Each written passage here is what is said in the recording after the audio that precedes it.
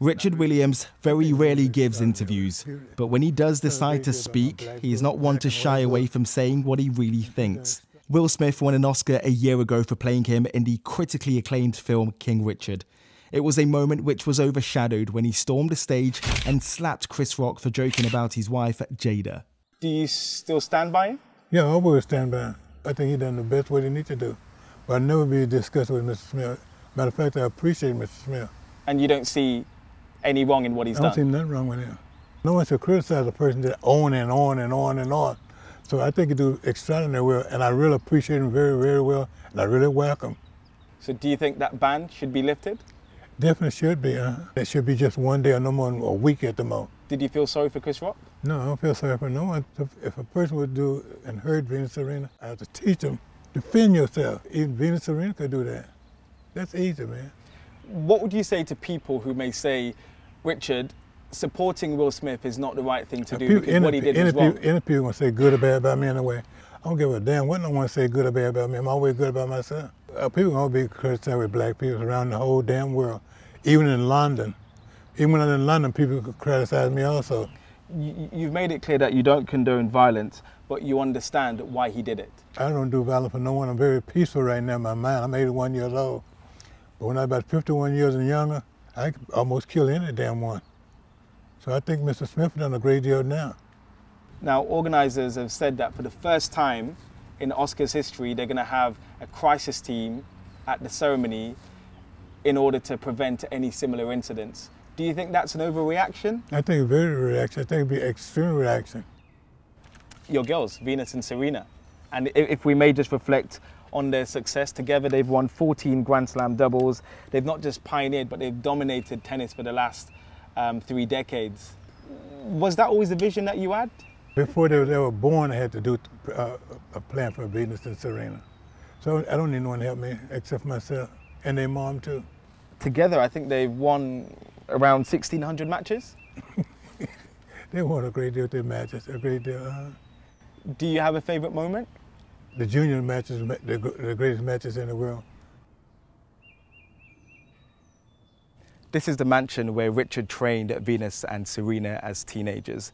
They've long left, but there are still so many memories inside there. This is where Richard trained your half sisters, where a lot of things happened. What do you think when you come back here and you look at it? I always have to smile.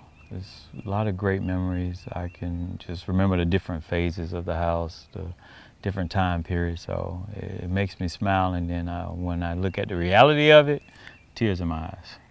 And just how historic is it in the legacy when we talk about the sisters and also your father? I mean, this place, I, the energy out here is just unreal. My dad loves this place, so it's just because of the, the energy out here. So it's, it's awesome. So can't even put it into words, but this place, like I said, the energy out here is just unreal.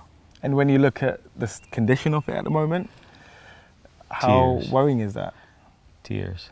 Sad. It's, it's unbelievable.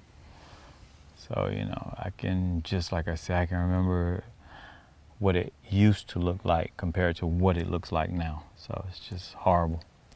And can you tell us why it's in the condition that, that it's in at the moment? Uh, right now, we're still dealing with some legal issues with the house, so we're still hoping for, for the best.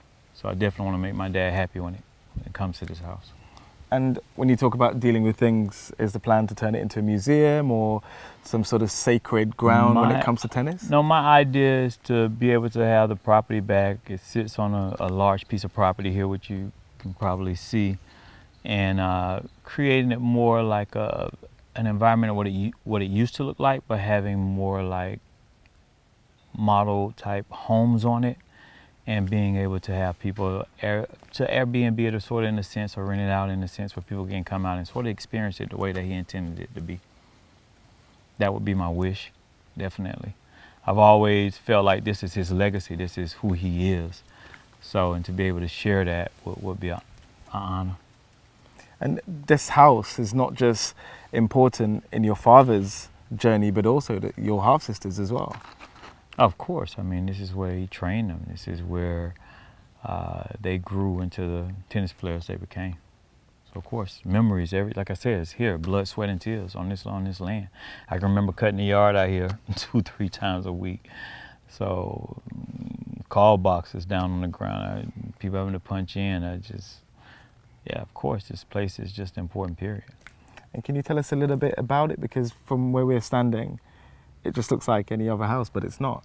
Because behind there's tennis courts and there's a lot going on, isn't there? Right. There are two clay courts, one hard court. Um, the lakes, there used to be three lakes out here. Uh, he covered one. Uh, just the property and everything is just totally different. Um, used to have the punching bag out there where we train him in boxing. Uh, he always played golf out here, so we had the land designed a bit uh, for hitting balls and stuff. So it, it looked totally different at one point.